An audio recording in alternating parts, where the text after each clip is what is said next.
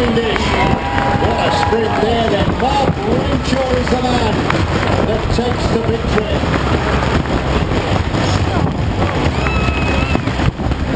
The rest coming in. What a sprint